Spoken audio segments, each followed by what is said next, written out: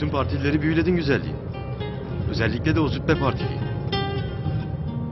Herif utanmasa içine düşecekti. Kıskandın demek. Tabii kıskandım. Nasıl sarılıyordu utanmaz. İyi o zaman. Benim de ne hissettiğimi anlamışsındır.